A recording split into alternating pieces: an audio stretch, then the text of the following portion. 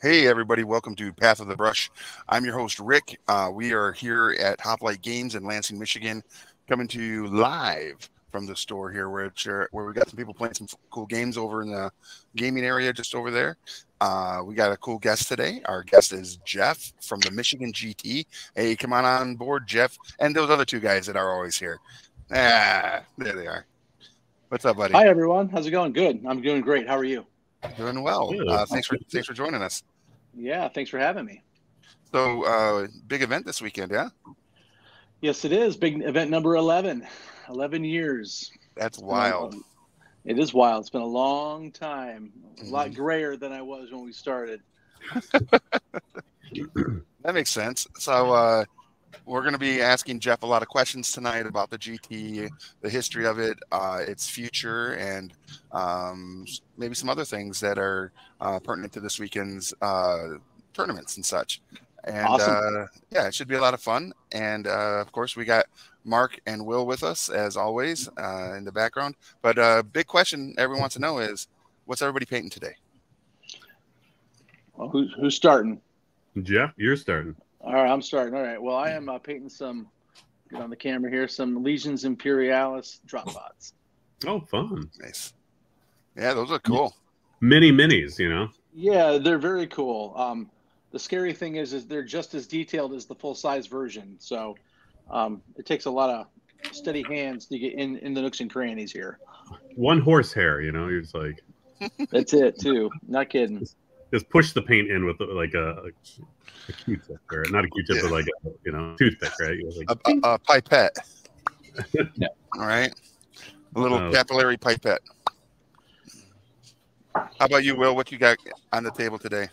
I am working on some of the Leonine Avatar from Conquest. They're nice, big, awesome centaur yeah. cat hunters. They are not tiny. Oh, nice. Oh, those look cool. Yeah, I've been looking forward to painting these guys for a while. Nice. And how about you there, Mark? I'm painting this here blooded from Conquest as well. Uh way overdue, but yeah, oh. Nord blooded here. So this okay. guy, you know, I've got, had him kind of slap chopped up for a while, and he's hit the table a few times, but now it's time to yeah put some paint on him. Yeah, put some paint on him.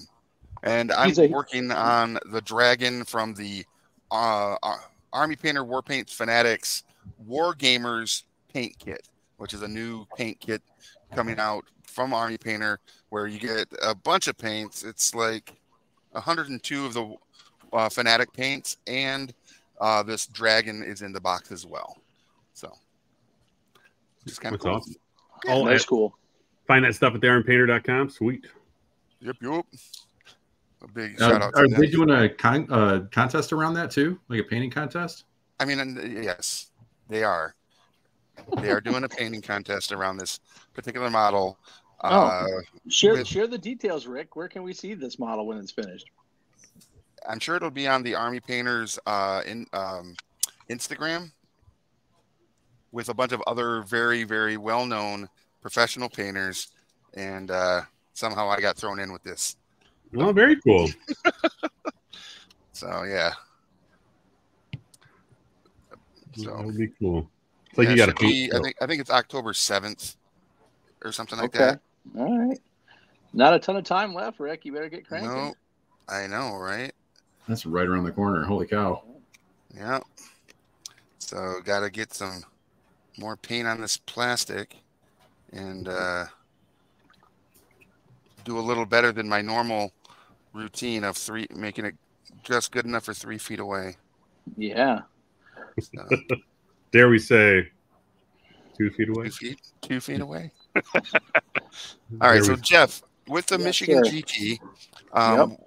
tell us about. I know we've had you on before. We've talked about it in a previous broadcast. I think in season one or uh, two. Yeah. But because it is this weekend here in Lansing, Michigan, right. what are um, how did it come to be? How did you and the other members of the board or sure uh, cohorts. Yeah, yeah, members of the board is a fine term, sure. Uh, so yeah, so um, well, since this is our 11th year, about 11 and a half or 12 years ago, uh, four of the five of us were at a tournament together, and we had carpooled.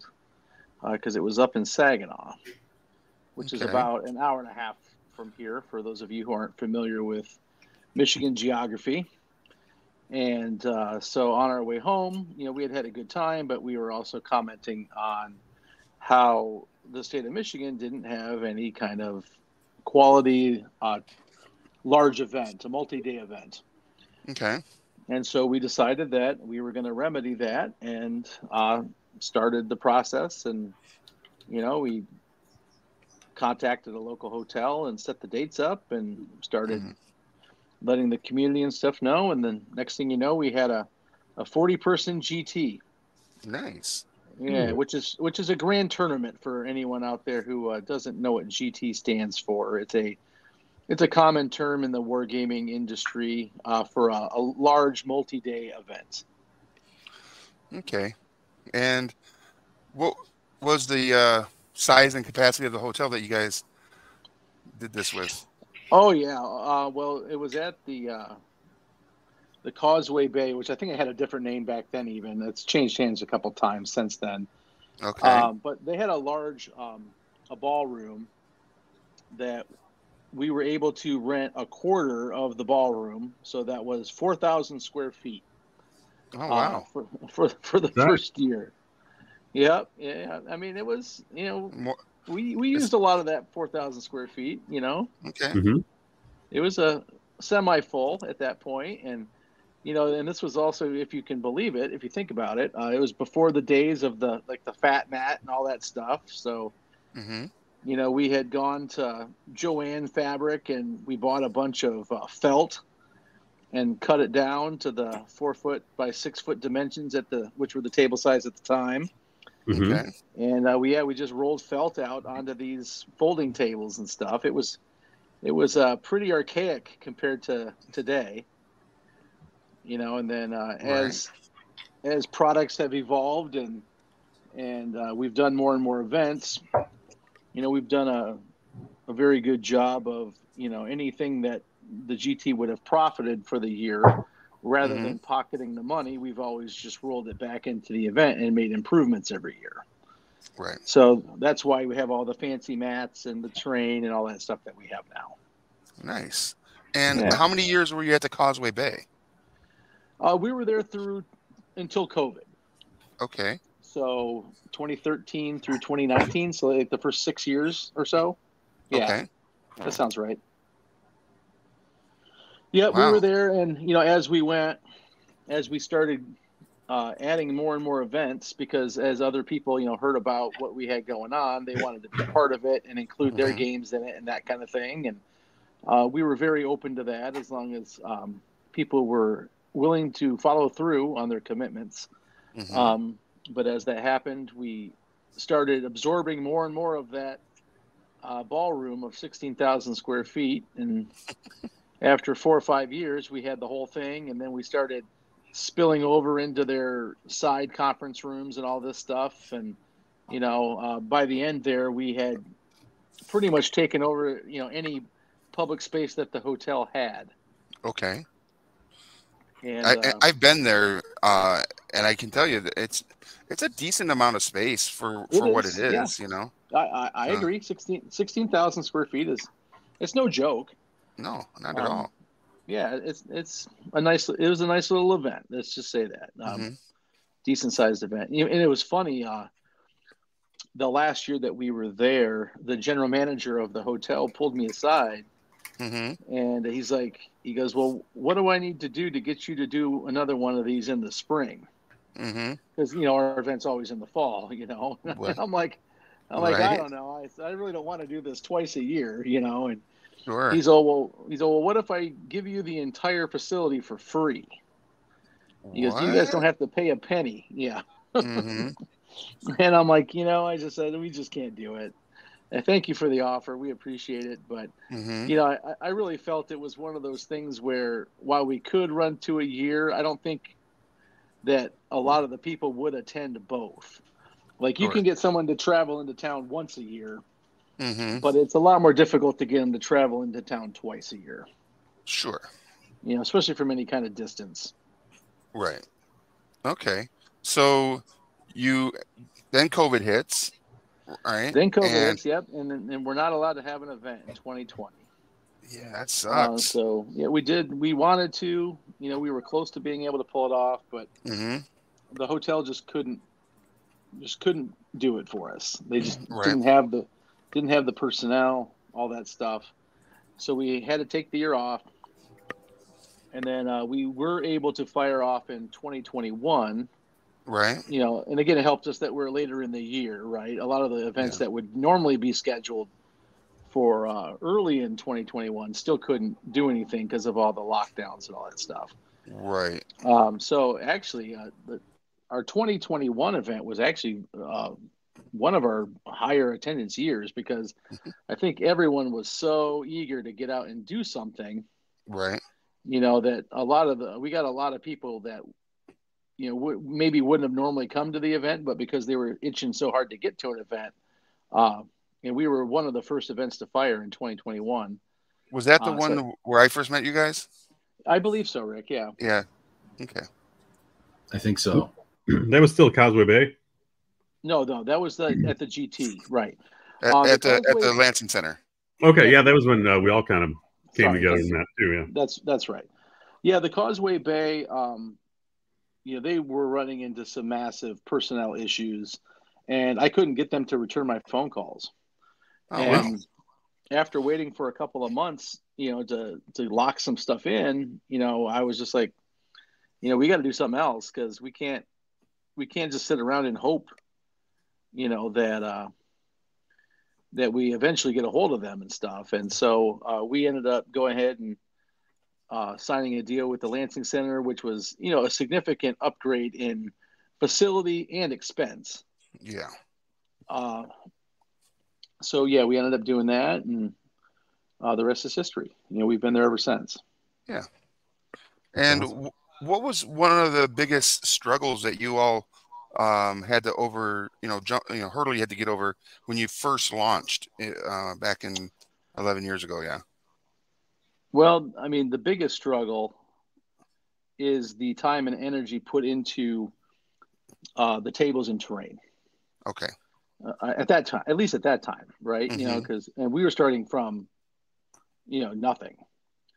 Right. And so, uh, you know, all of our terrain was built completely from scratch. It was a lot of foam core board buildings and stuff like that.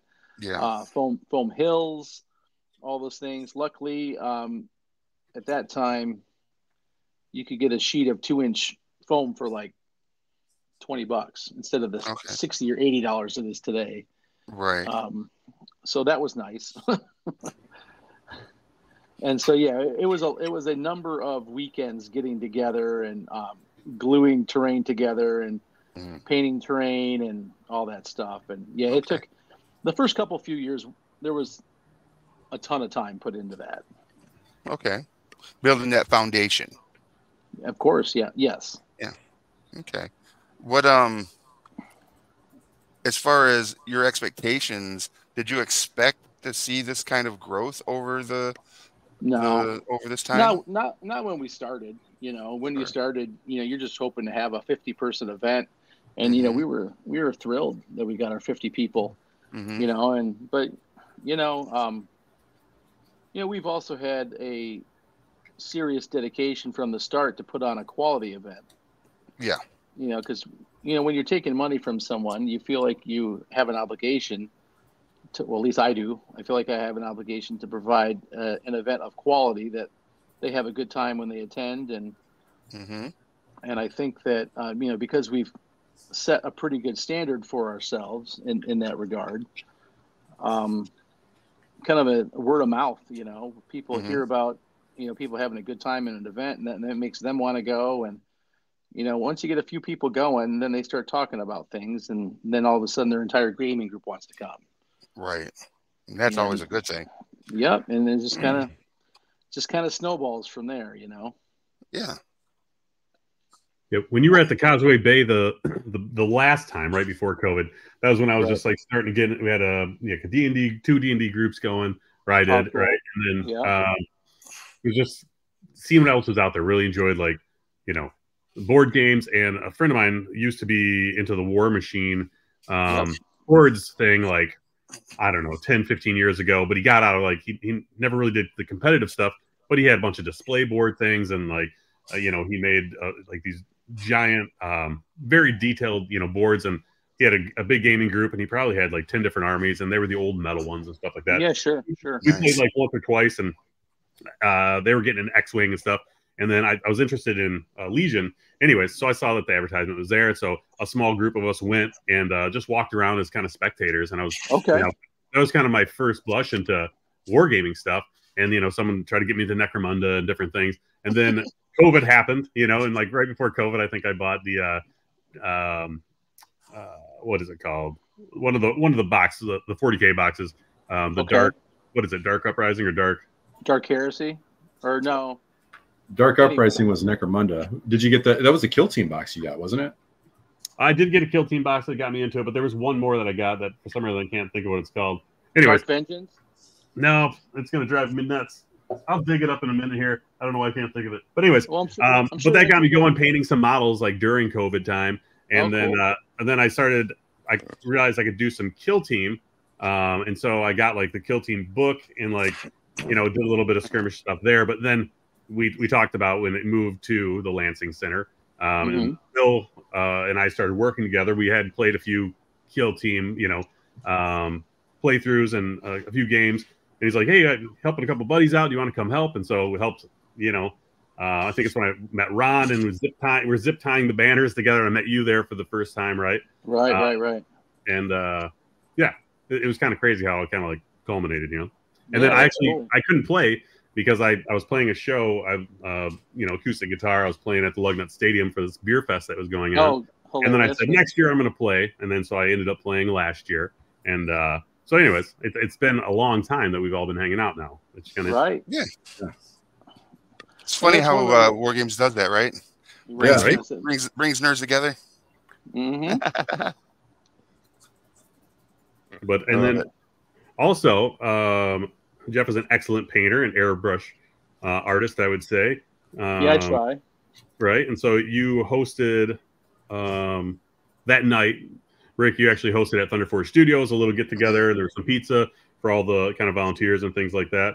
Um, the cool ones in the know. And then, right. um, so we got to hang out a little bit and check out your studio, and it was, it was definitely mm-hmm. very cool. And then a couple weeks later, yeah, Jeff, you put on that airbrush. My wife and I did the airbrush right. class, and I think Kelly, my wife, she she crushed everybody. She was like a pro right right off. She was using the Infinity though.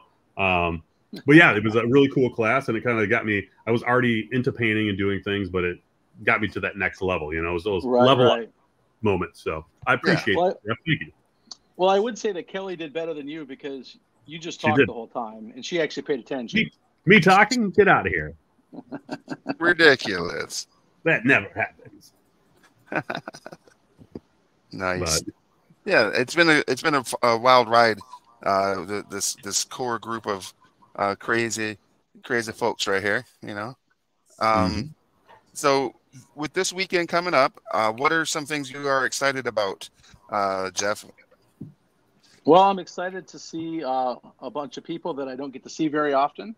Yeah. So that's always awesome because you know, uh, as you tend to travel to some of these bigger events, you know, around the region, you know, Adepticon and, you know, there's some stuff over in Ohio and Indianapolis and stuff like that. And as you go to these events, um, you know, you meet people and, and start friendships, uh, just hanging out, mm-hmm. talking wargaming and stuff. And uh, so it's pretty cool that we get a number of people from, you know, outside of Michigan, you know, to come into our event because it's grown into one of the larger events in the country, not not the largest by any means, but you know we're probably twenty ish or so, you know, in size of an event.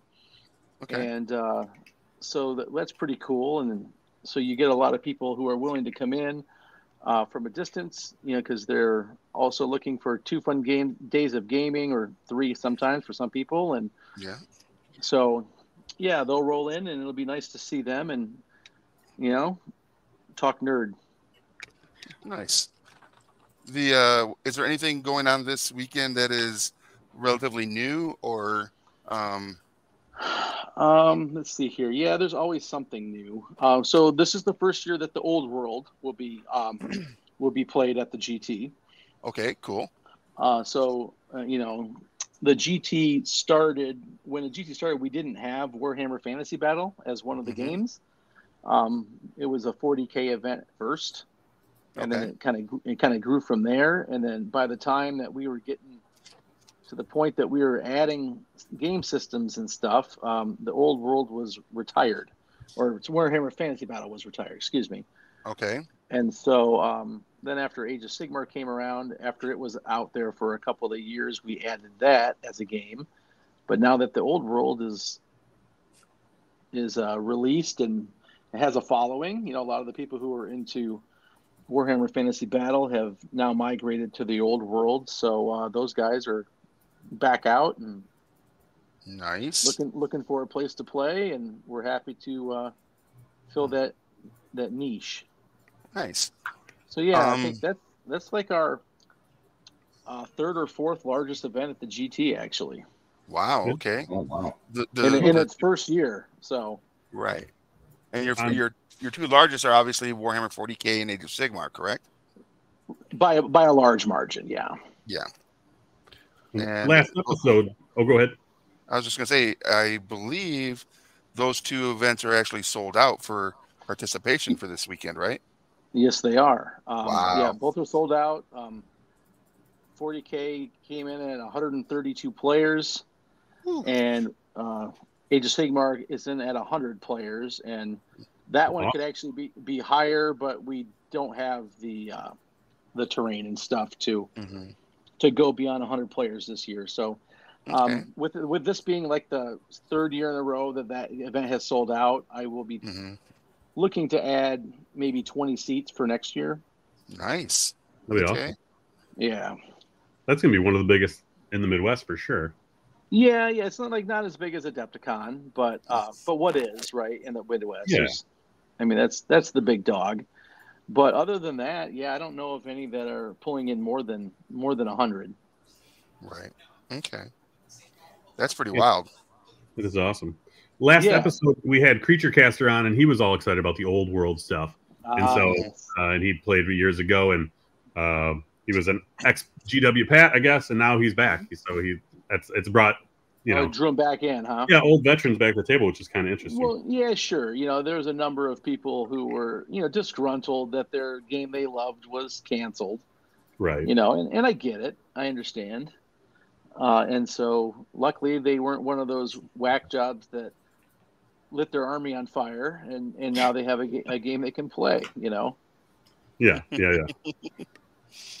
Hundred percent. Did that really happen where people like got so mad? yeah, they there, left their army? yeah. There's there were some social media weirdos that, Mm. um, yeah, lit their army on fire when the whole thing happened. Wait, there are people on social media that do things like that to get views. That's ridiculous. Just one or two. Oh, hey, Rick, put that match down. no, the store is over. All right, so one of the cooler things about the GT that I really appreciate is that you guys always have married up with some form of charitable organization, uh, and and do like some raffles and stuff Mhm. to raise money for those for the charities that you guys work with or charity. I think for the in the past. So, could you tell us a little bit about that? Yeah, sure. Uh, we, yeah, we have uh, two charities that we're working with this year, in which we've all we've been working with these same two for the last few years. Mhm. Uh, the first is a local charity to the Lansing area, and it is Okay. called the the League of Enchantment. Is the Okay. name of of the organization, okay. and uh, they are a cosplay group that does like superhero costumes. hmm and what they do is they uh, they go to children's hospitals and you know, it's, it's kind of like a a little bit like a, a make a wish type thing where you know a little kid is a Batman fan or whatever and they'll send Batman to go visit the kid and spend time with them and Nice. you know hopefully lift their spirits you know going through a very tough time Right. Right. So that's the first one that we work with. And then the Nice. other one that we've been working with for even longer um, is called Table War Charities. Okay. And Table uh, war Table, charities.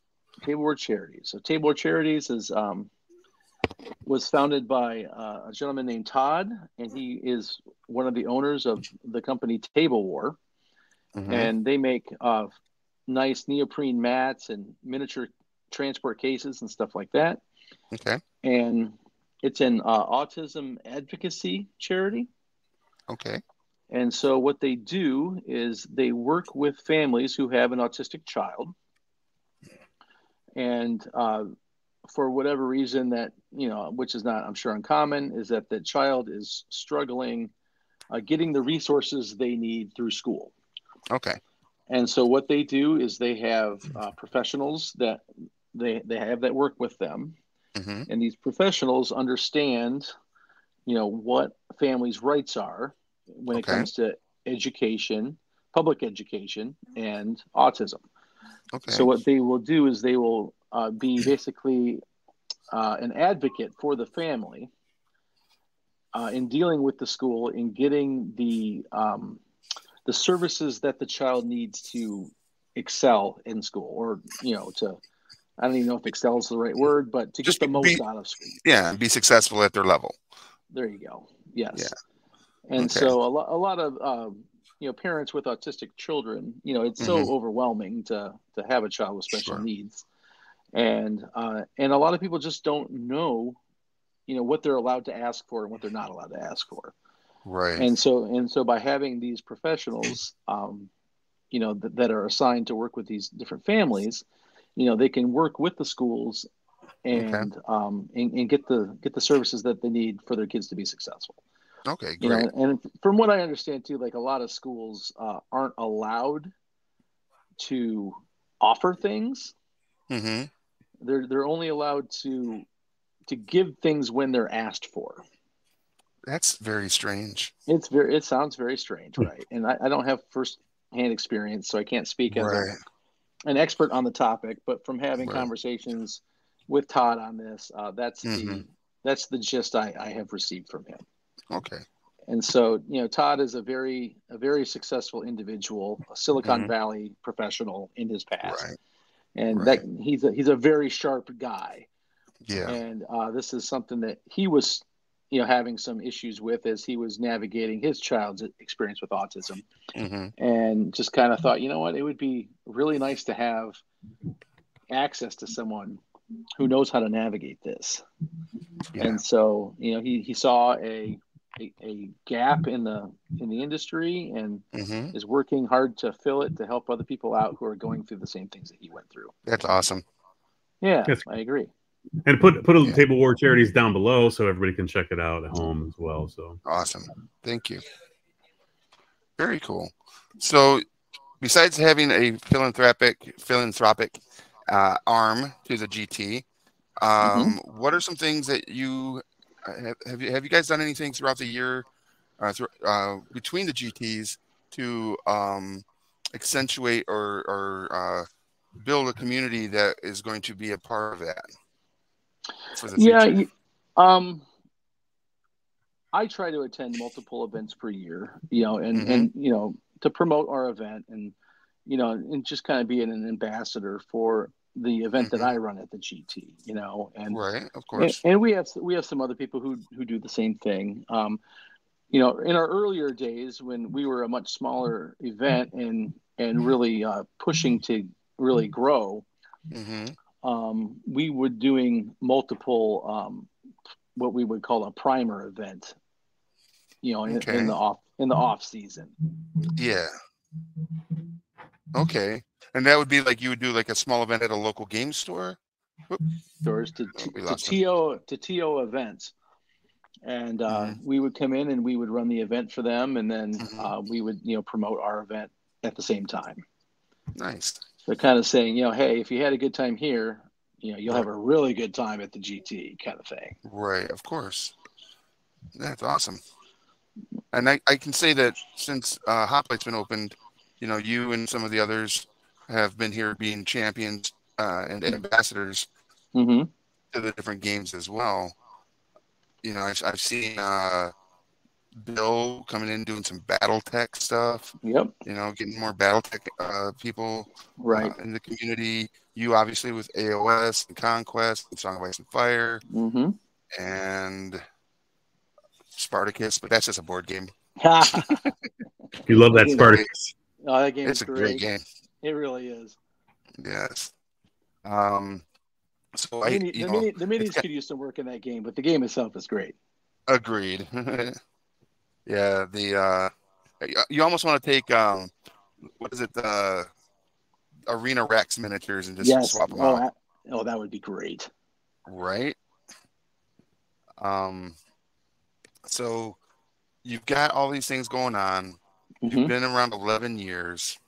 Right. Who are some of the who are some of the sponsors that you've had in the past, or maybe even this year, you'd like to give a little shout out to that uh, Sure. you're- you know that it's help, help make it a successful uh, recurring event. Well, you know, obviously our number one sponsor is Hoplite Games. Aw, I mean, obviously. obviously. Um, yeah, no, I mean, we've without our sponsors, man, this event just wouldn't be anywhere close to what it is. hmm Uh, the the sponsors have stepped up year after year and really see, Mhm. and I really give them credit in that they they can see the value in sponsoring local events that are in their you know in their market basically you know um, Yeah. which is really nice to see. You, you know, it doesn't usually take a lot of convincing to get you know some of these sponsors on board. You know, you can show them what we got going on, show them how many people are going to be attending. You know, and, and, and it's extremely um, targeted marketing, right? I mean, these are the exact people Yeah. that they want to be talking to. So from that aspect, it's not a, a difficult pitch. But you know, that being said, you know, their funds are are limited. You know, they don't have a 1000000 Mhm. dollars to throw around. So, you know, we also really appreciate that we're, we are one of their choices of a place to Mhm. spend those advertising dollars. Right. And it's and it's with those these sponsorships that we're able to give out the great amount of prize support that we give out. I mean, Mhm. our our goal is to, to is to hand out in prizes at least 50% of the gate value. And uh, a lot of years we're even able to get into that 80 to 100% range. Uh, Nice. which is ex- which is extremely impressive, you know. So Yeah. uh, a lot of people walk away with great prizes from our event, and we're we're happy to give it out. But because of that, it's it's because of the sponsors. Um, Right. Some of the, the the big sponsors, or not big sponsors, but sponsors that are very worth noting. Um, so our our longest sitting sponsor is AFK Games, Yeah. Great store. and uh, yeah, nice little store down in uh, in Holt, Michigan, here in the Lansing area. They've been extremely supportive, you know, over the years. I think they've been with us since, I think, year two. Okay. Uh, so that's been fantastic. It's been a nice long time. Um, Evolution Games, also here in Lansing, is a sponsor. They've also been with us since the early days. Uh, and both of them, as well as Hoplite Games, will be uh, in attendance with a booth this year, which is awesome. Nice. And Yeah. it's nice to, nice to be able to provide that that extra you know service to the sponsor themselves to get them uh, out in front of our customer base in person, which is Mhm. really cool. Um, you know, uh, the Army Painter is a is a big sponsor that we have this year. They're going to have a booth as well. Uh, also, sending one of their um, their studio painters, I think is for lack of a better term, um, Mhm. and uh, Caleb Wisenbeck and and Kat Jackson are coming out, and they're going to be All in the booth and you know willing to uh, give painting tips to anyone who's interested in, in chatting Caleb up. Um, Mhm. I've taken some classes from Caleb over the years, and he is a wealth of a well of knowledge. And uh, if you can glean a couple of tips from him while you're sitting with him, it would be time well spent. I can tell you that. Um, Warlord Games will be in attendance. They've been with us for quite a while now. Uh, they do a lot of uh, historical games, uh, Ci- Civil War, um, pre not prehistory, but uh, like Roman times and Yeah. all those those cool historical games. Um, Yeah. Which is really neat because we we do have uh, like a bolt action event, so they they sell. In fact, they make bolt action. Um, so that's really cool. Um, Mhm. Parabellum Games is a sponsor this year. Awesome. They're the, Nice. they're the maker of the game Conquest, which is a cool game. Both Will and Mark are painting Conquest minis as we speak.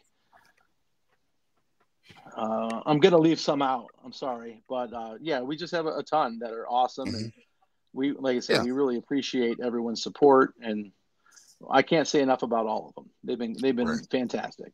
Hey Jeff, I'm on your page right now. Uh, yeah, you said AFK games, Warlord games, Acropolis games, Evolution games, and uh, Dark Imperium was the big box that I bought for the first time, and I bought that at Evolution Games. So shout out Gotcha, Uh, gotcha. Elderwood Academy.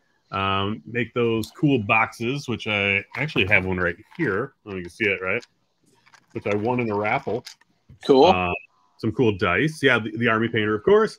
Um, Elric's Hobbies, which uh, you know, great hobby store, and they've got all those like I bought so many of those resin bases, you know, yeah, they do the resin bases right. over the years. Uh, Mantic will be there, right? Uh, Um, Mantic will not be in attendance this year. Oh, they actually won't be there. Okay, but, but they but they but they are sponsoring. Okay, perfect. not they're not not present. That's all. Yep. And he said Table War, right? And then we got Parabellum, like Correct. you talked about. Um, Ruin Forge Gaming. Ruin Forge, yeah, conference? yep, And we got Gray Matter Gaming. So those guys are out of Troy, and they do some great mats. yep. We got Oh, TNT can't Printing. Can't forget Perkwood Designs. Oh yeah, Perkwood Designs. Old Perkwood. And then uh, Baron of Dice is on there. So you got the, the old Baron. Yeah, Baron of Dice is new this year. Uh, so That's great. yeah, they're a new sponsor as well as Perkwood. Mhm. Um, Rune Forge uh, has sponsored us before, but I was uh, lacked some detail last year, and somehow they did not get on the big banner, which I felt bad about. So, going to give them an extra shout out right here. So, thank you to Rune Forge. Um, yeah, and then you know we got a number of uh, of companies that came in at, at a smaller sponsorship level as well. Yeah. Very cool. It's always cool when you when you're able to, like you said, work with some really cool companies that obviously this is this event is in their wheelhouse, and it also lends some legitimacy to you know the event as well. When you see Oh, Warlord and uh, Parabellum and all of those guys, One hundred percent, Rick. Yeah. yeah, You know, So- and, and one thing I will say too to uh, anyone out there listening, you know, it's like, you know, when you attend an event like this or or any event that you're going to, you know, pay attention to those names that are put up Mhm. as sponsors of the event and give them your business because, you know, those are the people who they're giving their hard-earned dollars to support the event you know and because they care about you you know they care about their customers and they care about you know you know trying to step up and and show the community that they care and the community in my opinion should uh, reciprocate and and show them that they appreciate these sponsorships and and that they're they're participating and not only in the retail side of things but in the hobby side of things as well Yeah, for sure. That's that's a good shout out right there for sure. I think uh next year try to get a, a, a glue sponsor. oh that's a good good idea rick Yeah, I was just sitting here thinking about that. Is like because you stopped by the store today and you're like telling me, Rick, you should bring some. Make sure to bring some any glue we got. And I was like, crap. sold out uh yeah, because telling you, it's, gotta call it's one of the bigger things. Yeah, Right. Well, you know, and also when you get to events like that, people don't bring glue, and then Right. inevitably something breaks, you know, and they're just wanting to, Mhm. you know, get it glued back together. yeah. I think Will goes down as the most broken models in any GT. Yeah. I just expect it. Like I'm gonna need to go and like anytime I go to a store, I'm gonna need to glue Sure. something back together. Mhm. right. Yeah, that's just how it goes. I Yeah. don't feel bad, Will. You're not alone. Yeah. All right. So- there's a painted drop pod for you guys. Oh, let's see. Nice. Nice. And what Yeah, scale is that? Oh, I think it's um, eight millimeter. Wow. Yeah, it's it's small. But you know what? It looks so good when you're playing the game on the table. It's a it's a very awesome looking game. What's the duration of this game, roughly? How long does it take to play? Yeah. Yeah, once you have the rules down, it's like a, a standard AOS or 40k game. You know, Oh. three hours. Yeah. Okay. You just get a yeah, epic, some epic scale stuff, right? Right. Yeah, it's just a smaller scale. Stuff dies super fast. Okay. Nice. So just scrape it off. Well- Bring up the hook. Um, if, if, so, if you're me, at least. So uh, what are I've been victim to this, and we've talked about it a few times, and you always make fun of me. What are some do's and don'ts prior to the tournament? Waiting till the last minute to paint is my don't. Um, yes. Yeah, painting in your hotel room is a don't, Mark. I, I stayed up till 3 a.m. the first time I went to where was it? Adepticon. No, it was the AFK, wasn't it? it was the Motor Detroit City one. Mayhem. Oh. it was all of them actually. Uh, Motor City Mayhem, and I was, and I was up doing my bases for my Tzeentch guys, which they turned out sweet. I'll, I'll pop these guys out, but I was like, I need to uh, last minute base them all. Like I was gonna actually get extra points, and I got a few, but not like worth staying up till 3 a.m. And this, I by the second day, fifth game, I was a zombie, you know, and I like couldn't remember anything. But you know, this was like um, the the first guy here, right, the Lord of Change. And so I was after doing some airbrushing and things, and so I was trying to do this like the little racing stripe around the outside. Stayed up super late for that, and uh, everyone was making fun of me. And then Yeah. Adepticon last year is when you were you came into the Airbnb and you're like, you know, can't believe you're painting right now. And I was literally glazing these little dudes, right? yeah, yeah. Lumineth, and I was doing some like varnish, glaze varnishing. Um, they turned out sweet. You printed those little bases for us, but uh, Yeah. yeah, don't do that again. I mean, ultimately, we were just sitting around not doing anything. I was doing some fine little touch ups of these guys. Yeah, that Well- was lesson learned. Not doing that again. And actually, my wife's ban on it. Good, good for Kelly. Good job, Kelly. I approve. Yeah, I had one year where one of my teammates did the same thing, and it just super detracted from my enjoyment of being at the event uh, because you know we were at that time, you know, crammed in this motel or hotel room instead of actually, you know, talking to people and hanging out and that kind of thing. And at that point in time, I was just like, never, never again is this going to happen for me at least. You know, I'm not working on this stuff ever again. So, Yeah. so I try to make sure that I build enough time into my prep that I hit my deadlines and I can have a nice, fun trip out with the guys. Yeah. Smart. Will It's you a got rookie, any? mistake, rookie mistake, Mark. Rookie mistake. I know. I know. Do you, Um, I, I like to make sure that I've got uh, snacks, juice, like stuff to stuff to keep me going throughout the day. This is- using your brain uh, Yeah. takes a lot of calories, and that's a lot of using your brain. Yeah, I usually just uh, take food off other people's plates. They're they're distracted with the games that are going on. So That's uh, right. That's right. I mean, Will, you are the uh, amongst the guys. You're the con mom for sure. You know, I, I I want to make sure everybody's okay. yeah, it, it's great. So, someone has to play that role, right? And uh, because it's funny, is like at Adepticon, you'll swing by the booth wherever I might be and be like, snack, juice, drink, something. you okay? You're doing all right, buddy? You know, always looking out, always looking out. And that's Thank you. awesome. Can't help it. With camaraderie. No, I love it. I think it's great. The uh, yeah, I, I always pack enough for um, people who are working the booths because that's that can be long and thankless work, and and you can thank it. yeah, right? Um, and the person across from me that that sets a tone that we are not, while we are uh, while we're playing against each other, doesn't have to be antagonistic, right? I want to get the best game out of this person. right. I hope they sure. want the best game possible out of me. Yeah. Oh, that's, is that what I've been doing wrong all this time against you, Will? Will, Yeah. Shoot. All right, I'll work on that. gen- Yeah. Will generally gets like best sportsman um, many years in a row doing doing things. You know, like awards for just being an all around good guy. Yeah. What the heck is that? I know. Sometimes you can have like some normal conversations. I have had some weird conversations where like your opponent is just talking their rule set at you about like what's really cool about this guy is he can do uh, this and that and this and that, and you're just like, I can barely remember my rules right now. Quit telling me about your rules. You know. Yeah, Uh, yes.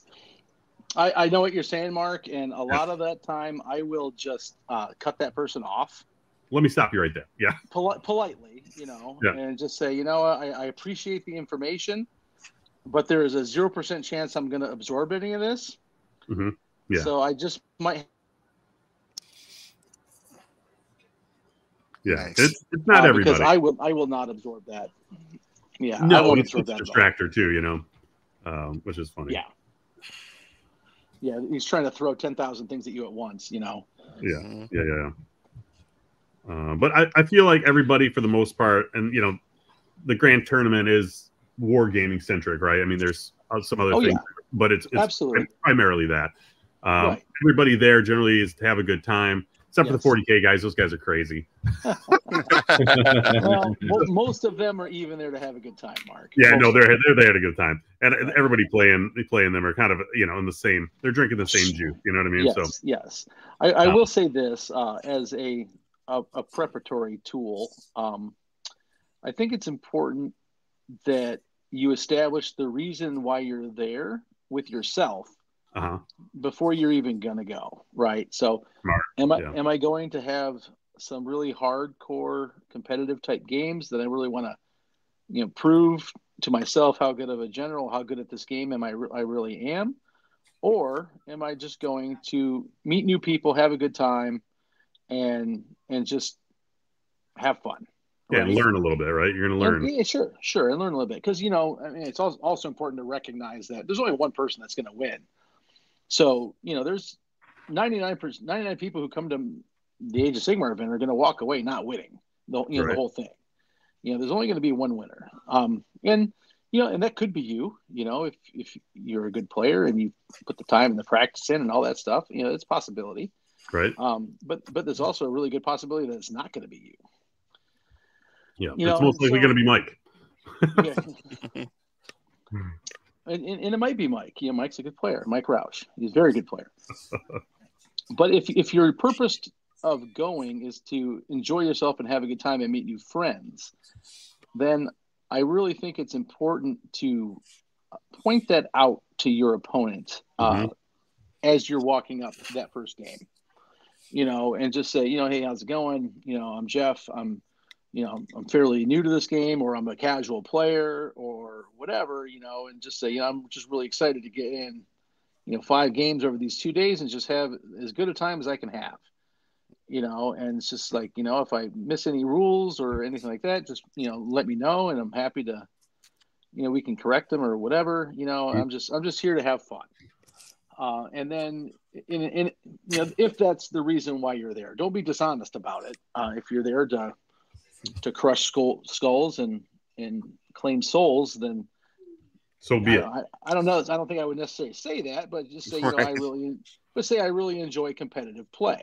Yeah. Right. Um, you know, and then once that that is established, um, that will set the tone for the game, right? And Right. and you can have competitive play and still be you know fun and Mhm. and sportsmanlike and have a good time. But if you're there for competitive play and your opponent is just there to have a good time, then that would let the competitive player know that he doesn't need to crush skulls, right? He just needs to win the game and Right. then you know try to have it as positive. Smile once in a while. Yeah, smile once in a while. There you go. Jacob, we're talking for talking to you. Just smile once in a while. as you're correcting your opponent. That's right. That's right.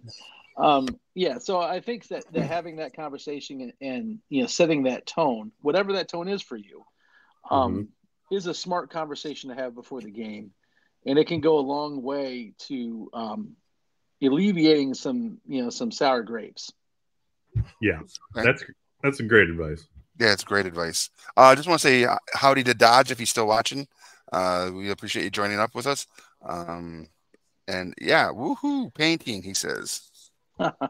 We are All painting. right. Yeah. Dodge, I believe, if it's the Dodge I think it is, has been to the store. He's came for paint night. So Nice.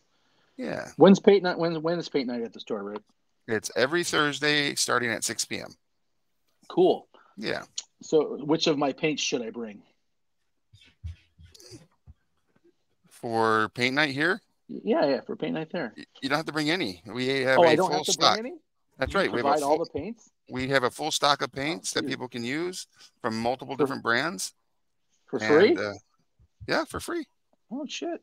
And Oh, if sorry. they're if someone shows up that doesn't have a, a model that they want to paint that's in from their own collection, uh, they get a free model um, from one of from our our vast stores of Lucy's, as I like to call. them. nice, Lucy's. Excellent. Well, that sounds Yeah. like a good time, Rick. Yeah, it's so, super how many fun. how, how many people are normally showing up on a on a paint night? Currently, we're getting between thirty and forty people. Wow. Yep. Uh, I've been there um, many paint nights now, and it's Mhm. typ- it was hard to find a seat last week. Yep. Okay. But it, it was awesome. There's buckets of paint for people. Um, there's been some kids that have been been reoccurring too. There's this one Mhm. little guy. He's got to be like five, six years old, and then he was Mhm. so excited about that beholder that he painted two weeks ago. It's fun to fun to chat with the little guy about the stuff he's been working on. That's That's fun. awesome. Yeah, the cool. community the community show outs for that event uh, has has been really really nice, and um, also seeing the people that are like you said recurring uh, attendees, um, and how they've progressed from when they first started coming here to where they are today. Right, there, Right. there's already been vast improvements in some of the paint that uh, people have been Right, showing the, me the- at the end of the the night. quality of their finished miniature. Yeah, Yeah. for sure. And it's truly a community, you know, Yeah. it's like I- I've been in there and people are setting up, and it might be a family that I don't know, they they don't have something to do. Maybe they can't afford to go to the movie or something, right? And they, they Mhm. come in and then they're they're having fun and you know, their kids are are learning some new skills and it, it's truly like a community and it's all range, like you're saying, Will, it's from five to uh, how old are you? How old are you now, Rick? Uh huh. Yeah, five to fifty, brother. Five to fifty. Eh, old enough to know better. Yeah, but we, I mean, we, we have some elderly folks that come in here too, in their you know sixties, seventies. Uh, oh my gosh, that's great. yeah. Yeah. So it is a full range of not just ages but also talent. Um, we've got some really good painters, and then you've got me, which is awesome. Don't give yourself enough credit. Last so Rick, week I, there was a little girl that was sitting right across from me that while we were painting, and she like after she had finished putting the blue on all of her Mhm. stuff, then they started having an adventure right in front of me, and that was like that was Adorable. amazing. Yeah. Yeah. Oh man. hmm Did you have some you want to say there, I was Jeff? gonna say yeah. I was gonna say so. I've really enjoyed the new lights that you you got in the painting area of the store. Oh yeah, that's the premier spot right there. Yeah, oh, I bet. I bet there's uh those are the hot seats that you have to Mhm. get there early to to secure those spots. Yep. Uh, I think you have one right there on your camera.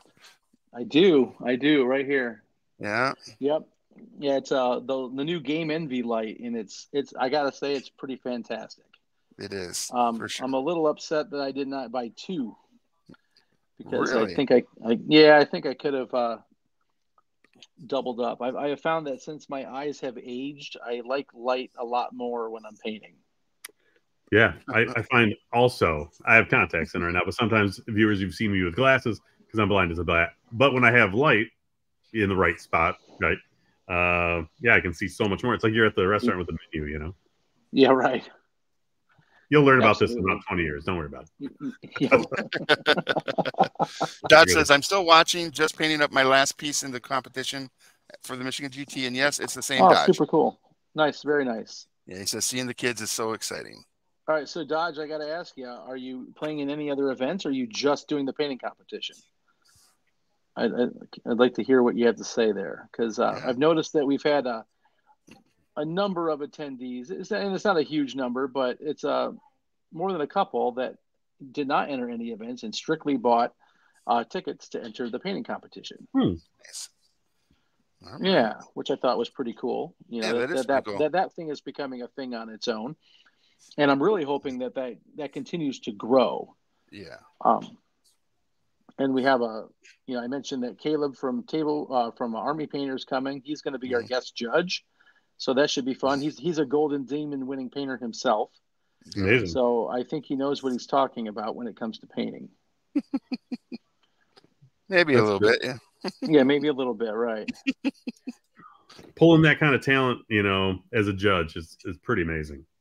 Yeah, well, it's just it is, it is very amazing, uh, and that's I'll, I'll give all credit to to Cat and Army Painter on this one to uh, Yeah. to get him out here.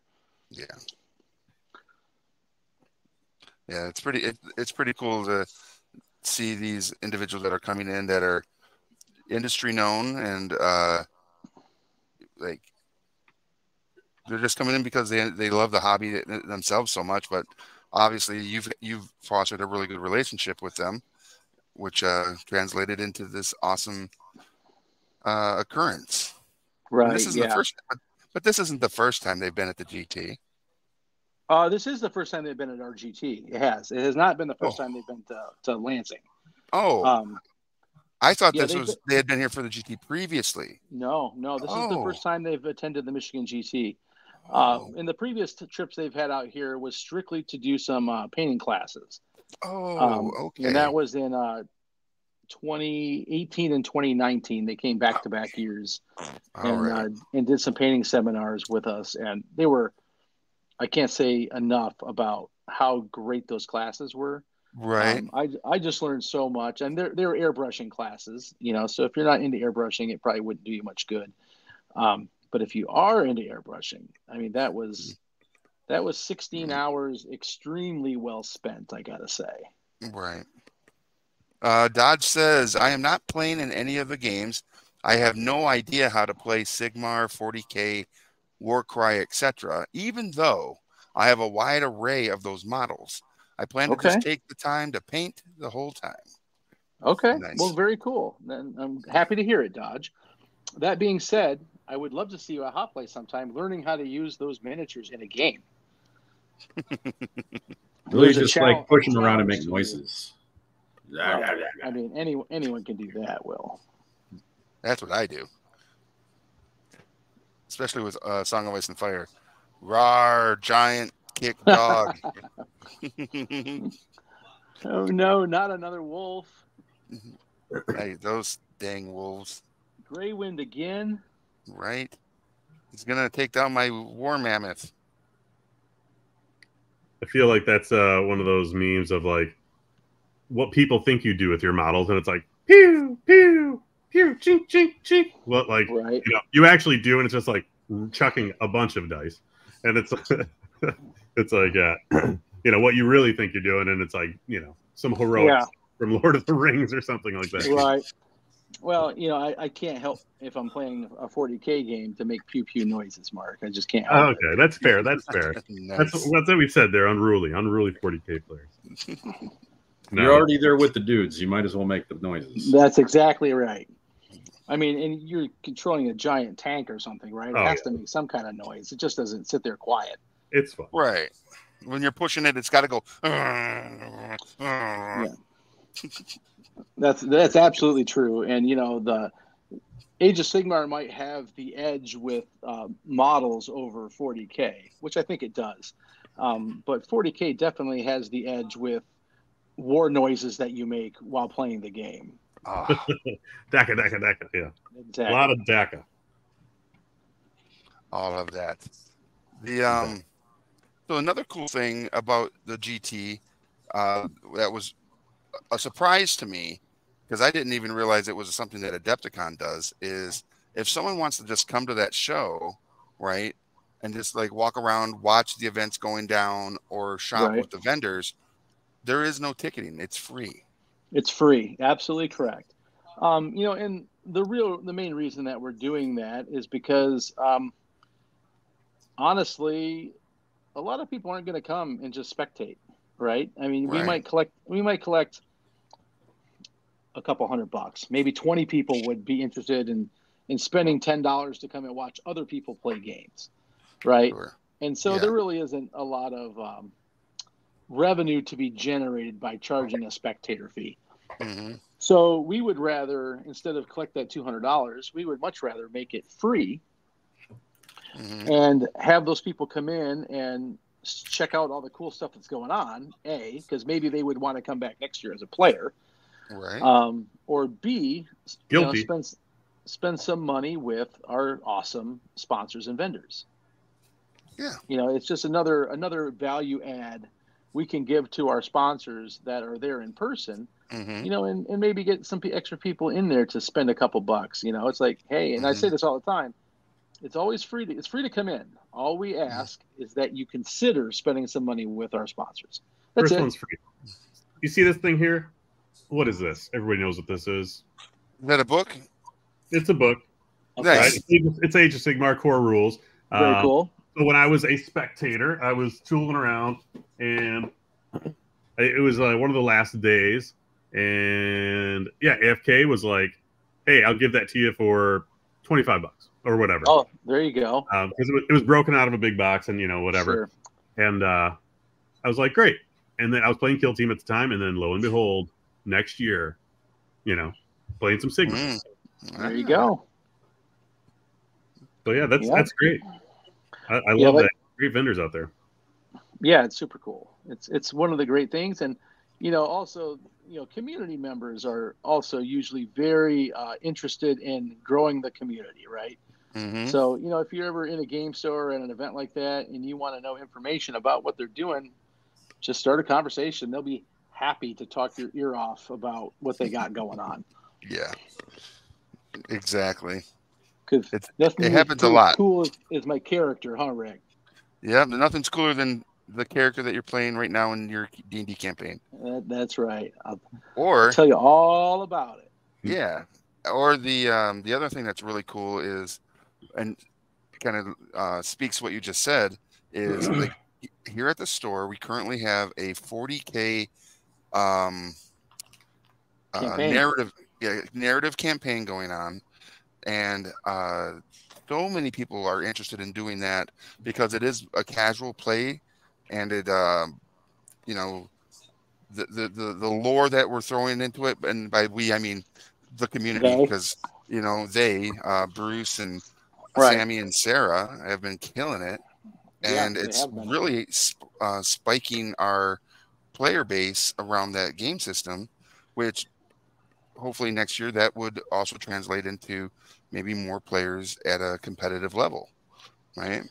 Or we also have a narrative 40k session at the GT.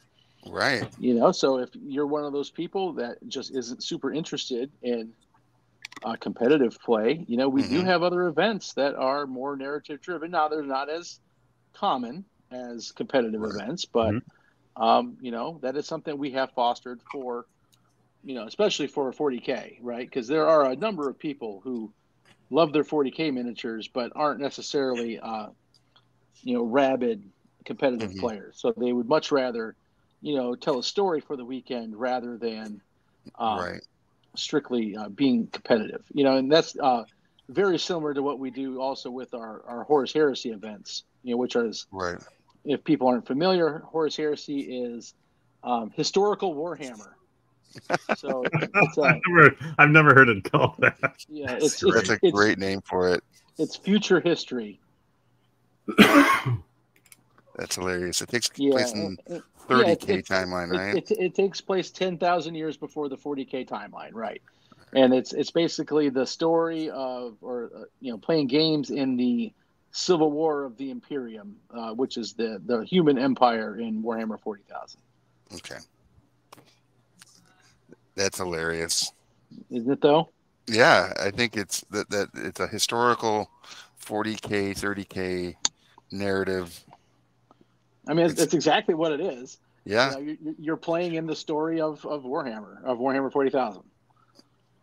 In the betrayal. During the time. Yep. Of... Yep. During the time of the betrayal, exactly. Yeah. Yeah. That's awesome. And... we should probably shout out some other folks Let's do it. Who you want to shout out? All right, so let's shout out um, Tabletop Gurus as one of our our sponsors here, with uh, which is like a news and entertainment channel that Mark has put together. You can check that out at uh, tabletopgurus.com. And also the Army Painter, who is our exclusive paint sponsor for the show, with their Army uh, Painter War Paint Fanatic uh, line and Speed Paint 2.0.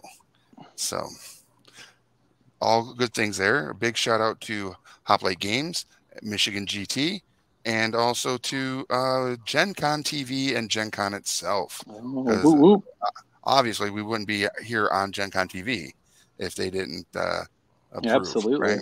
Absolutely. So we appreciate all of them. And we would love it if those of you watching would be so kind as to hit that heart, hit that bell so you get notifications and you follow us here at Gen Con TV so that you don't miss out on any of the amazing content that's being provided here.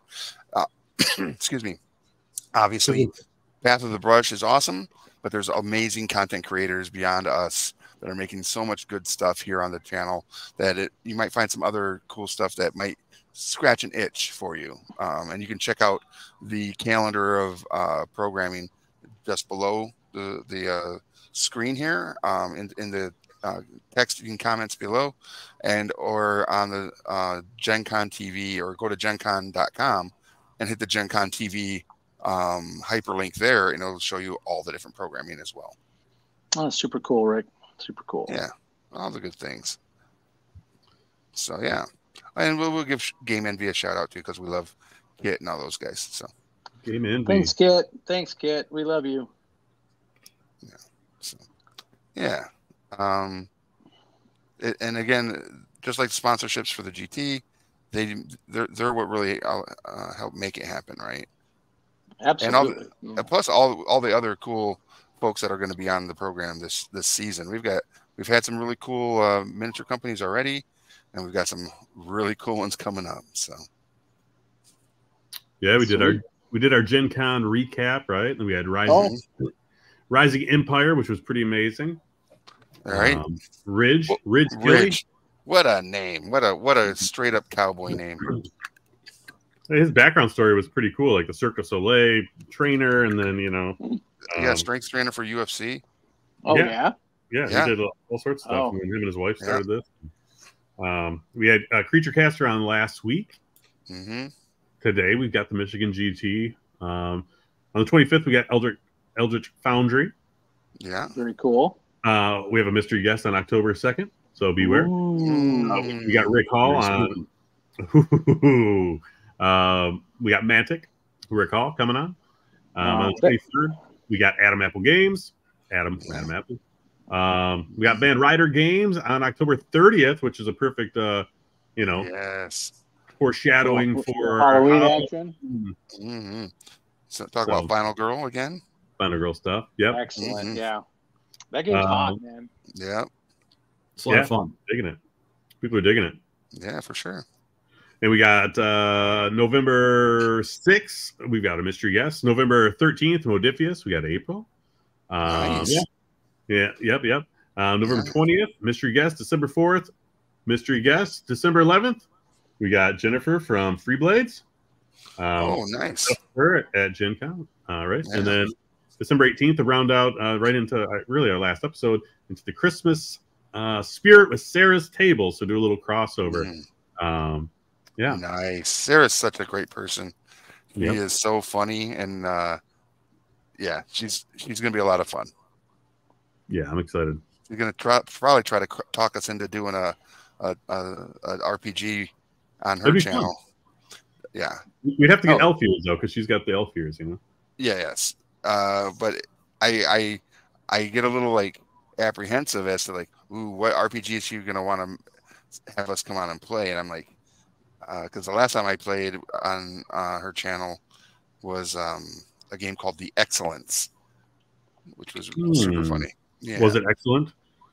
Oh, it was absolutely excellent. But uh, it would be interesting to play that that game with you two. okay. Why? Why so? the aristocrat? So?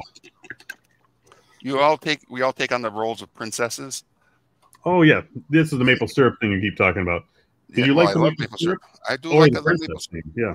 Both. I like the maple syrup. I like the maple syrup. I like the maple syrup. It's so yummy of good fine.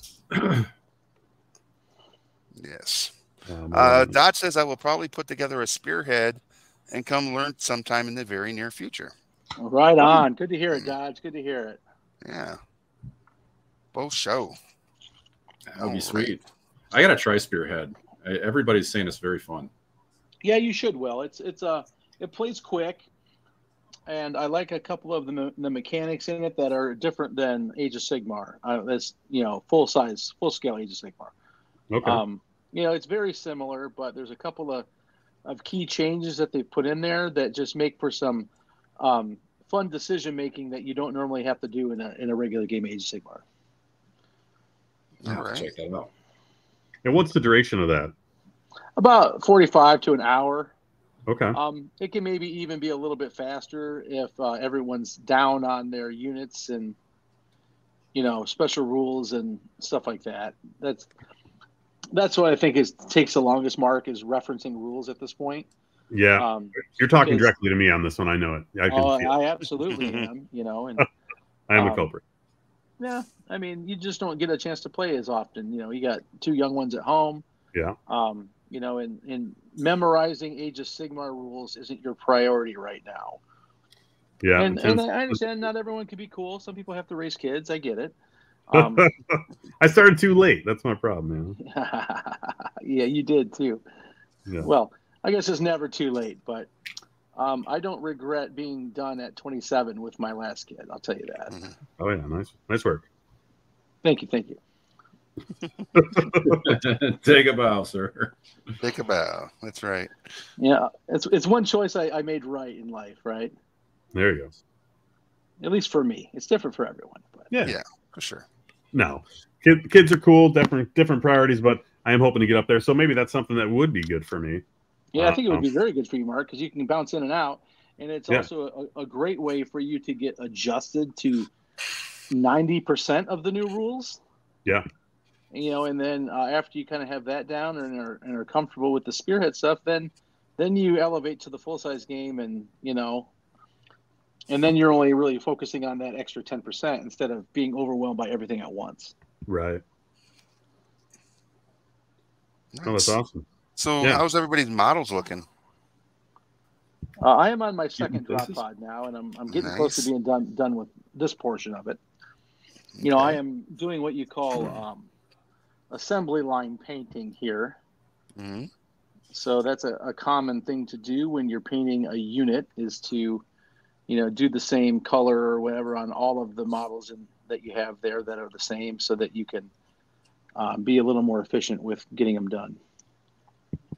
I've been doing about the same thing too, just trying to get a good base coat on these. With, with the Avatar, Yeah. nice. I'm interested to play against those. Will. Yeah, they're pretty neat. I think I need more of them. They're pretty neato. Um, well, I know I- I, know a guy. oh yeah, a store perhaps. Um, Yeah, that looks almost- really cool. oh yeah. I did all my base and layering. Will still going. How many of these guys you got, Will? I, I got like four. Nice. Yeah, those guys are really cool. They kind of got like a cat cat body. Yeah. I'm going with I'm trying panther colors is what I'm I'm trying to start with. Battle Nice. Panthers. Yes. Maybe I should do green with orange stripes. Oh, Right. pan, Panthro, Panthro. Yeah, make it battle cat. Oh, Ooh, yeah. I see Oh, I like, I like that. You're the master of your own universe. Do your that's a thing. throwback. Uh, but yeah, I did my layers, my base, my layers, and I did a little wash up on them. Um, so now the next thing to do is some some highlights. I went a little old school style.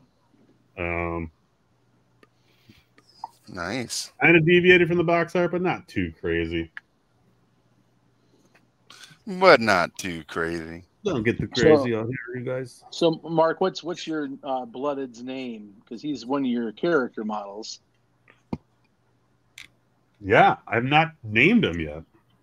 What? Are you Hmm. waiting for him to do something epic in a game before earning his name? I think we should. Like, uh, yeah, Will is the king of that with uh with his kill team models. He introduced me to that. Uh, Mhm. Like Straw. Remember? Yes. Give us the give us the story of Straw. Straw. Um, so my first, when I first was getting into Kill Team, um, it Mhm. was hard for me to find a game of it anywhere in town. But I found a place. I was doing a tournament. So my very first games of Kill Team were a tournament that was at, uh, at Pandemonium in Detroit. Oh, Oh, wow, nice. you you took you made a drive. Okay. Yeah, it was a trip. Um, but I, I got out there and I was playing um, Imperial Guard. So I Mhm. had, uh, and Kill Team in those days, you could get a lot of special weapons on Imperial Guard because they weren't very good at shooting. Ah, One of the guys, I um, I called him Straw because I figured he got the plasma gun and the plasma gun can blow up in his face. So he pulled you the short, the short straw. Huh? yeah.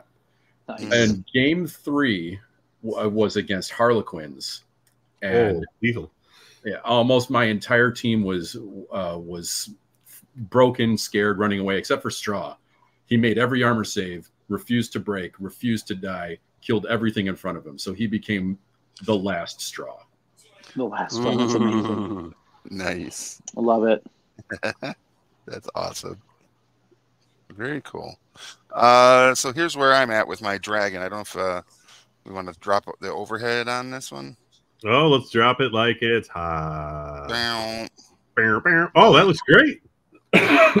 Listen to my surprise. That looks great. No, I like the two tone. That looks really nice. Yeah, I So- put um this uh distinguishing slime glow effect, Mhm. or Oh, or okay. um from Yeah, the yeah. War Paints Fanatics uh, effect Yeah. line. Right. Um, because I want them to be breathing out like a um radioactive acidy looking thing. Very distinguished looking. Yes, very demure, very distinguished. Yeah. Is Ah, a distinguished snort coming out of there? yeah, Yeah. always. put your What were phone you gonna down. say, Rick. Jeff? I said, put your phone down. That's what I said. Uh, Spending too much time on that thing.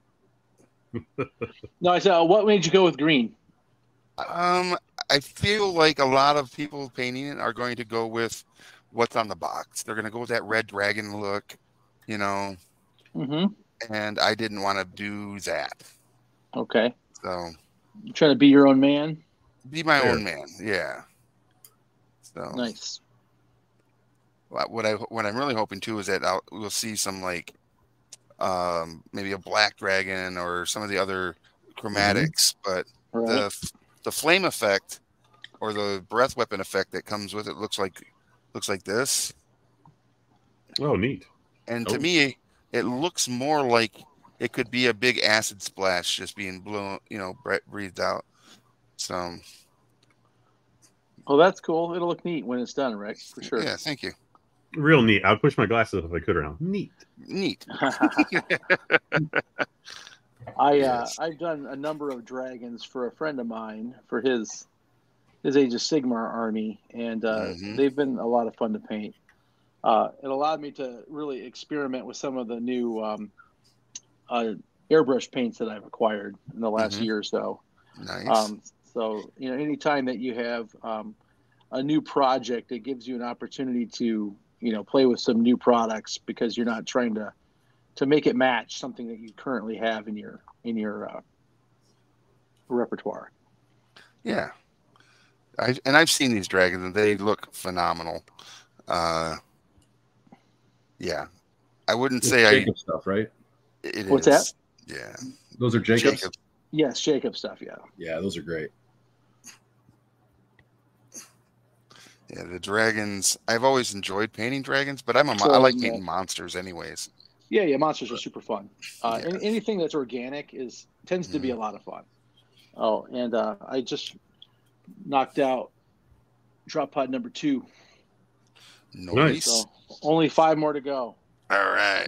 are, are these going to be utilized this weekend or? No, no, No. no. Okay. I don't have no time to play nothing. I'm running stuff. That's right. You got your own babies. That's right. Yeah. And sadly, I'll take all the lumps. I'm not going to be able to be there. There's a family wedding. That's, yeah. uh, yeah. that- that- happening. you- I'm, I'm glad you brought that up, Mark, because I wasn't going to let you out of the show without giving you some a hard time about not showing up. Mm. I know it kills me. Uh, yeah. Uh, well, I'm, I'm glad it's killing you. You gotta, I got driving, driving my parents down there. Yeah, it should be killing you. You should be very regretful that you're not coming to your, your local gaming convention. And Right. you should be uh, so upset that you're going to make amends by volunteering next year to help out with stuff. Ooh.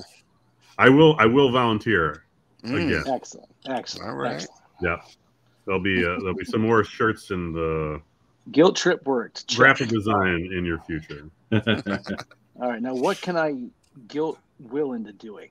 Uh, Well, he's all going to be doing Vanguard work for for well, that conquest. that's true. So, know. Will, are you are you helping run that at all? Or are you just lucky enough to be able to play? I get to play this time. Very cool. nice. All right.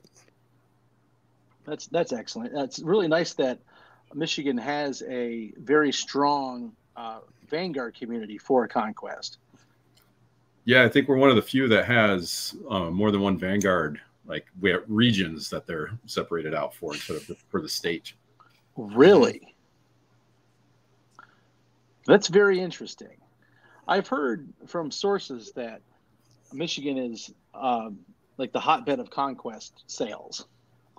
Like it's a it's a bigger selling item here than just about any other state, if I heard correctly. That wouldn't surprise me. Yeah, I don't know for sure, but that Okay. that tracks. There was So- a good number of people from Michigan at Gen Con when I did Yeah, that tournament, right. but there's also some folks from down south, which was kind of nice too. You Oh, hear some is cool. accents. Yeah, that's very cool. So I am headed to uh, Greece in November. Really? Yeah, we're uh, my wife and daughter and I um, are are heading to Greece for a couple weeks over Thanksgiving. That'd be great. Yeah, and so uh, we're going to be spending a number of days in Athens. Ooh. So uh, one of my goals while I'm in Greece is to stop by Parabellum and say hi. And I, I just Nice. want to check their facility out and Mhm. uh, see their design studio or whatever it is. I'll probably be very underwhelmed uh, because Games Workshop does such an amazing job of having like Warhammer World and all that stuff. And I don't, I doubt Parabellum is in, in that spot yet, but um, I still want to come by and check them out and, and see what they have to offer. Yeah, Challenge it definitely I just I just heard challenge accepted um, from across the old pond there. Yeah, right. Now that's super cool. That sounds like it's gonna be a lot of fun to go on a, on that kind of trip. Um, are you gonna should be very cool. are you gonna find uh, some time to you know maybe go to Sparta? Um, it's on my wish list. I'm not sure because we're also going to Albania, which is uh, Okay. is to the north and west of Greece. It, it borders Mm-hmm. Greece to the on the northwest portion, Right. um, Okay. which is the opposite direction that Sparta is. Sparta is in the the southeast from Athens, Mm-hmm. Um, and it's also on a different island. Mm. So a trip by water will be required in order to get there, or a flight. But hmm uh, so I'm not 100% sure if that's in the cards or not. Um, Okay. my awesome wife is doing most of the the detailed planning, and I kind of put it on a thing like if we can pull it off, it would be cool. But if not, Right. I'm not planning it out, so I'm not going to complain. I was just gonna say if you do find yourself there, obviously Mm-hmm. we, you know wearing a hoplite shirt and getting a picture would be cool. Oh, 100%. But that's anywhere in, in Greece, you know. right? Yeah, hoplites were everywhere, not just Sparta, Yeah. But Right, Um, right. though I will be wearing Michigan State gear as well, I'm sure. So I don't understand. yeah, I know you don't. it's, it's okay. I'll explain it to you later. All right, cool. Is this So one what- of those bees travel from flower to flower kind of explaining, or is this a different thing? Uh, So and that's all, folks. No, I'm just kidding. So one of the, uh, I will say, one of the inspirations for this dragon, though, was um, I recently watched the um, Godzilla One or whatever it was called. The, Zero? Yeah, Godzilla Zero. Yeah, yeah. Um, and just you know when he gets all energized up before he hits his, his breath weapon, is kind of a bit of way. I, I- you know, the green and that the greenish glow. Even though I think his is more of a blue. His energy glow is a blue. Yeah, Um, That's your inspiration there. yeah. I mean, Godzilla is such a great, a great creature, right? No, he definitely is. A kaiju. Should I be talking about this guy's cape like that? Like I, I've jumped on to Conager now because the other guy's drawing. And that, should I be like, his cape was black, but now I'm making it Superman red. It couldn't be much redder. I love it. Nothing wrong with a red cape. Yeah, right. Nothing wrong with that at all. uh, pops real nice. What was your t- speaking of Godzilla? Yeah.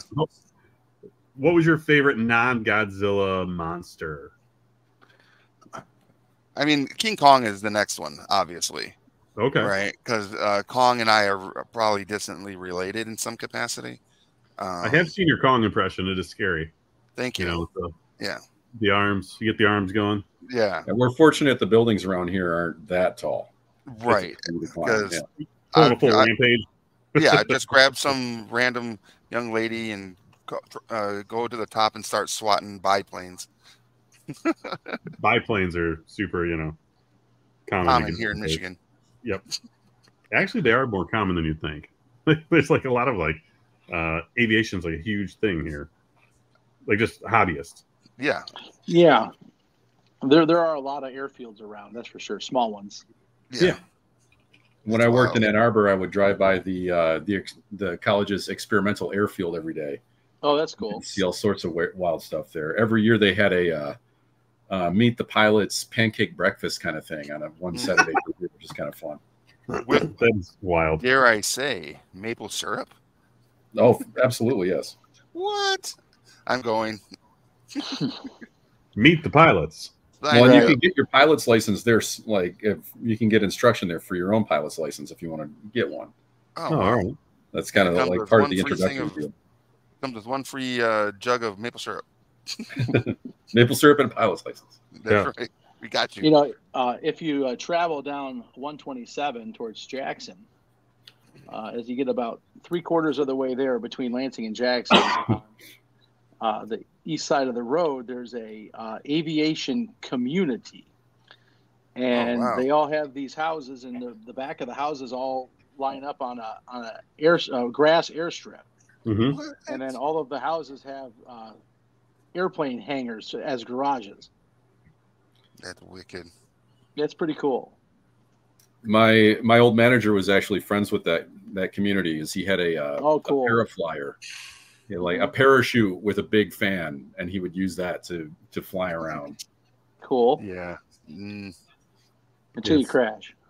right. We call it John All right. Denton. All right, Google. Where's our flying cars? Yeah, right. You get a parachute and a big fan. Dinner No Jetson. way. Release Michigan, Dinner Michiganders can't merge as it is, Rick. How are they going to do it when they're in a plane? Ooh.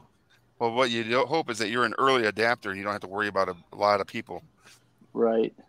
Yeah. And when it does come time where everybody has one, you know, you're you're old and don't really fly around anymore. I guess.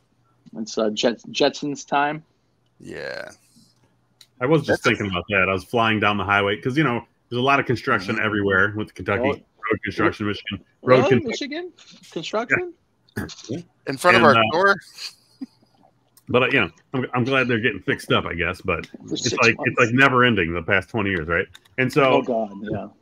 they've got those things that are the dividers, a cement divider, right? And then they've got those like green, whatever, I guess blinders. I don't know, but they they're tall in your car. But if Mhm. you're, they're just like they feel like they're in your peripheral, just going zoom, zoom, zoom, zoom, zoom, zoom the whole time. right. And if you're driving for a few hours down south, back up, whatever, it's like nauseating the amount, and it's just like there's there's no room if you know, like you're saying, like your six inch margin to the left, and you're kind of like into the wall there. So it's Mhm. like I was thinking, what if we were to fly in flying cars? Oh, hello, but you still had to, uh, you know, stay within a straight line with all these people, like Jetson style. You know what I mean? People still, Right, would, Right. right. you still would be crashing. Hey, um, Will, can you do me a favor? Yeah, what's that? Can No you favors. look up the age of the Jetson family? What do you mean? Like How- the age when the cartoon happened, or No, um, like how how old members? was how old was George Jetson and Judy and well, Elroy was about And Astro years, or no, and there there there should be a Oh. thing that tells you how old each one of them is. I've never thought of George looking that up. Jetson is 38. James So Jetson George- was born.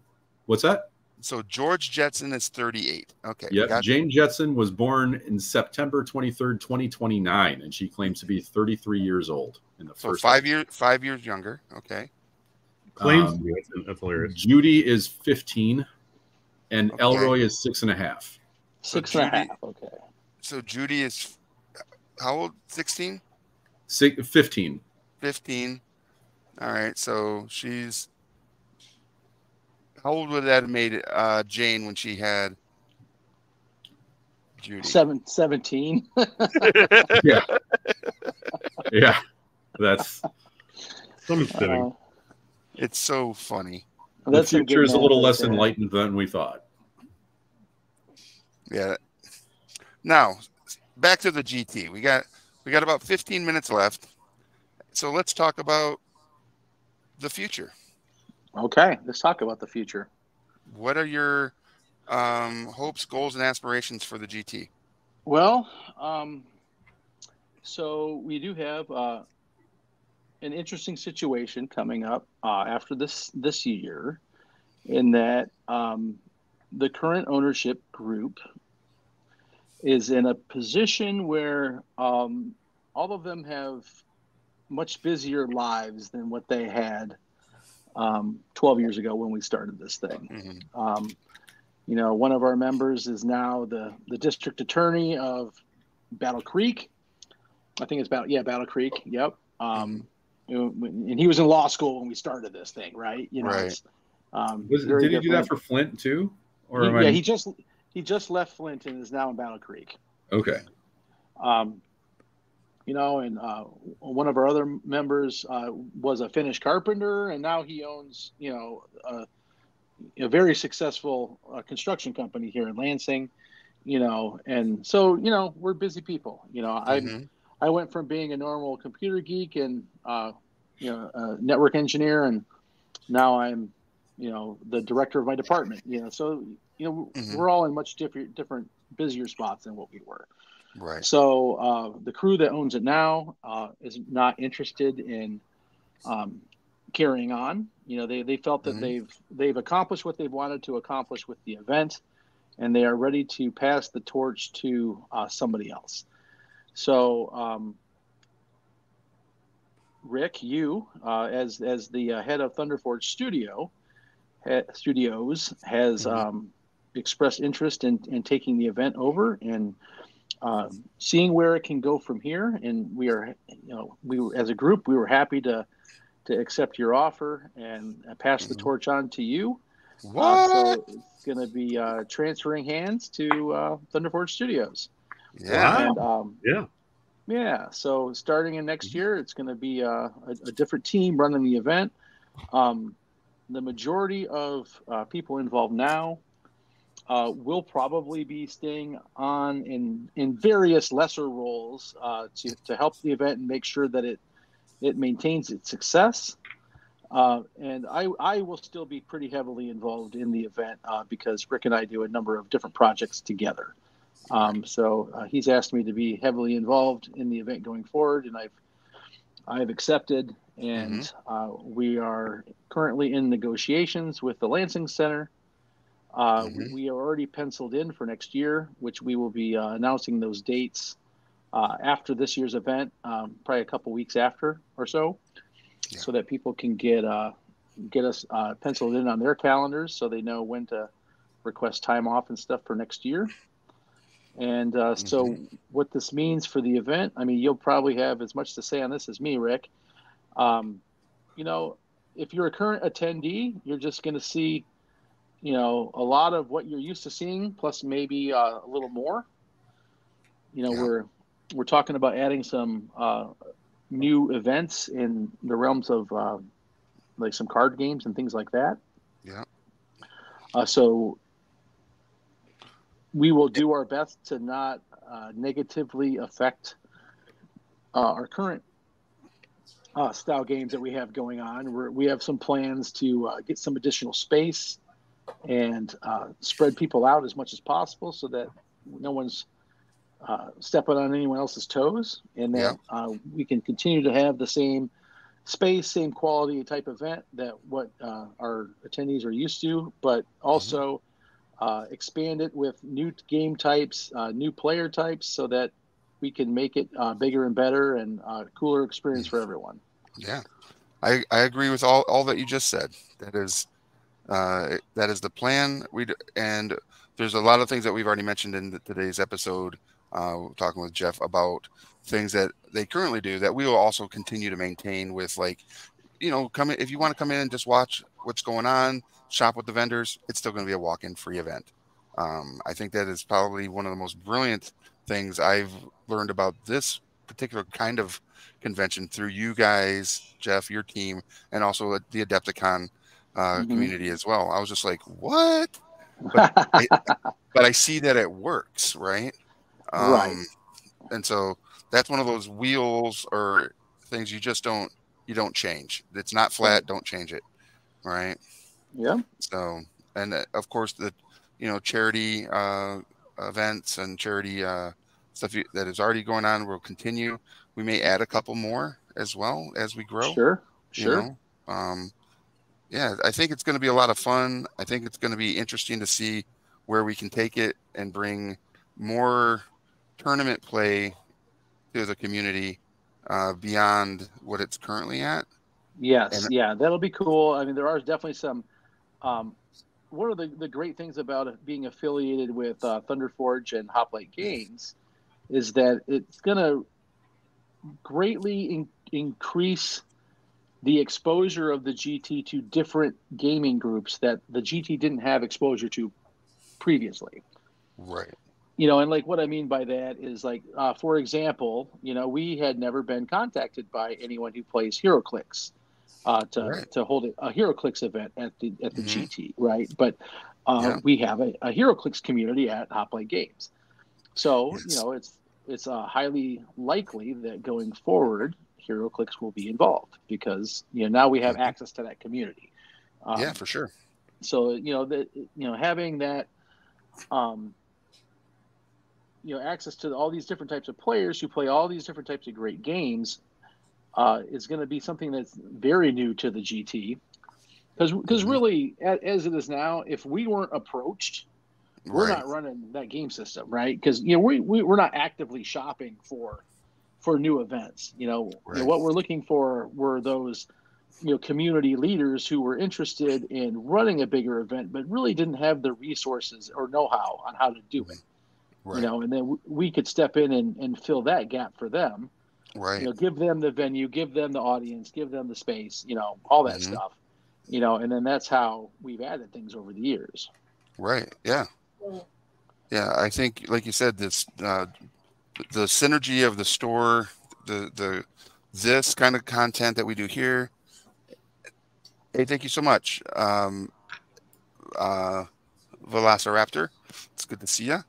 Um, having you know doing things synergistically, bringing because we got a lot of people coming in here that aren't like um, your typical gamer right off the bat. They see some stuff to Mhm. get like to get interested, and they're like, and next thing you know, you know they've bought all of Conquest and painted it in a week. Right. right right right yeah hey matt what's up bud right. Yeah. so you know, uh, the store being able to cultivate uh, communities around the games that the convention will be highly involved in is also right an amazing opportunity for oh for for everybody all of it the community Yep. the store and the convention so and the city of lansing 100%. Yeah, and, yeah, and, it's, and you're not kidding. I mean, you you say that and people might go, "Yeah, right," but no, you're you're you're 100% correct. Uh, you know, and you know, you and I sat down with the Lansing Center last Mhm. week. You know, and you know they Mhm. had a lot of great things to say about the Michigan GT. You know, they were uh, they you know were talking to us about you know how uh, valued of an event that the GT is. You know, because we do bring people in from out of state. Right. You know you know like i mentioned before you know we're only probably pulling you know 15 20% of our attendees from the lansing area. Right. You know almost you know 80% plus is coming from you know more than a half an hour drive away. Right. You know and that also means you know that many more people staying in the local hotels renting airbnbs um, you know you know attending the to- restaurants yeah going to the Yep, strip eating the club across food, the street yep i i mean mean well yeah i mean omar's loves us right you know Yeah. i'm sure they do uh but i know brody's chop house does Oh yeah, I mean, talk about target Cody's, demo, Cody's. right? yeah Yeah. if you want a good steak dinner man brody's right there Yeah, well, it's an amazing steak dinner. Not even good. That that place is just fantastic. That's Right. I need a reservation though. I had to Yeah. I just got reservations with my wife for our anniversary. We went there Oh, last year. cool. Oh, nice, Super nice, good. nice. Yeah, That is a- super good. You know, and one of the other uh, really cool things that we can share, Rick, because I'm sure this is going to happen, uh, is that next year uh, the the room format uh, for the GT is going to change. The last Right. couple of years, uh, we've been competing with another local company who uh, also holds their their uh, fire truck training, uh, like in the weeks surrounding our event. And so, uh, since they rent more of the Lansing Center than we do, you know, we uh, we couldn't get the uh, ball or uh, not ballroom, but the um, the Hall B in the Lansing Mhm. Center because they they had it. There's a big Right. fire truck parked in there, so there's nothing we could have done about it. So we were splitting our event between the ballroom across the hall and Hall C. And so uh, they, because you know they heard that we were unhappy with them competing with us, have chosen to move their event to a different type of time of year. We've we've threatened them repeatedly, and they finally backed down. Um, Firemen are known for that. That's right. Um, and so they, they are cowering and, and shifting their event to like mid September, which completely frees us up. Uh, in that we there's currently zero competition in the hall Mm-hmm. in the time that we're there this year. Right. So next year, at the bare minimum, we will have uh, two of the three halls uh, in in the big room.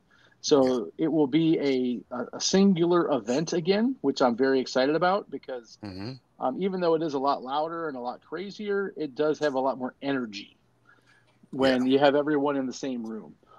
So yeah, so we're going to be back uh, all in one room, at least B and C, if Mhm. and we're even we're even flirting with ABC. So we'll see, we'll see what happens and what kind of deal the Lansing Center will offer us Yeah. to, to, to take the whole thing. So no Yeah. promises, but we like the idea. Yeah. For sure. We just got to figure out how to monetize it in those in Yes. those Yeah, bigger the- spaces. The, economics, the economics have to work. yeah. Um, also, sadly, economics are economics, and hmm uh, we got a great deal in 2001 in the middle of the pandemic.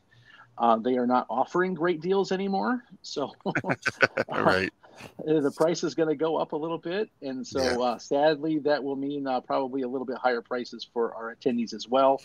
But but we will keep that as minimal as we can. Yeah, for sure. Yeah. Very cool. Yeah. So lots of good, exciting things to come. Lots of good, exciting things have happened. This weekend is going to be amazing. And there's going to be so much good camaraderie brought together in that gaming community that the GT has fostered over the years. And uh, I'm really excited to be a participant in uh, bringing Hoplite there and the paint and take and stuff that we that we're known for. And Yeah, ab- absolutely, it's going to be Uh, you know, great. Yeah, it's gonna be a lot of fun. So if you are in the Lansing area or know know anybody in the Lansing area that if you're watching this now or later on while you're painting your miniatures, uh, let them know about the Michigan GT. You can also check it out at michigangt.com. Uh, so check uh, go and check that out. You can see all the cool stuff. It's gonna be super fun. Looking forward to it. I hope, Yeah. Look, also looking Yeah. forward to see all you guys. If you see me there, stop by, say hi. I'd love to chat with you. Yeah, yeah. Yeah, So on that note, uh, we have come to our time. And uh, one last time, if you're watching and you haven't hit that heart or that bell yet uh, to follow and get uh, notifications for uh, Gen Con TV, please do so. And if you are so inclined and have the capacity to do so, go ahead and subscribe. Every little bit helps. You can also use your free subscription from Amazon that you get if you're an Amazon Prime member. And uh, like I said, every little bit helps bring you amazing content through Gen Con and Gen Con TV. So uh, subscribe if you can. And uh, other than that, you know, share it with your friends, join our Discord, and check out Hoplite Games website at hoplite-games.com, not slash dash. So very cool. On so on that note, I'm Rick. I'm I Mark. I I'm. Jeff. Thanks for and having we'll me, guys. see you. yes, absolutely.